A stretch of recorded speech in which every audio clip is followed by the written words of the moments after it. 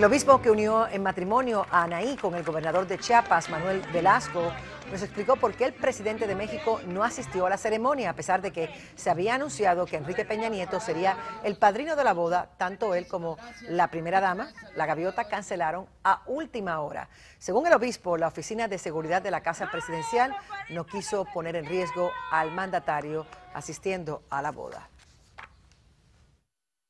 Sí, cuando se pensó la primera fecha, el 11 de abril, era con el plan de que viniera el presidente de la República.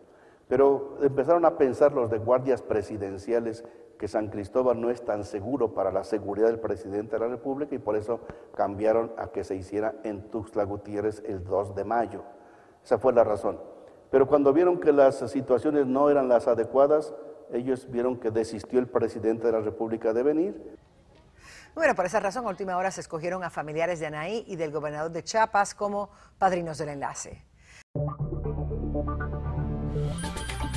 Cada vez que la vida nos estremece inesperadamente, nos damos cita e investigamos para que tú estés bien informado. En Arrojo Vivo estamos conectados con nuestra comunidad, con sus necesidades y sus urgencias. A las 4, 3 Centro. Somos tu primer frente de información.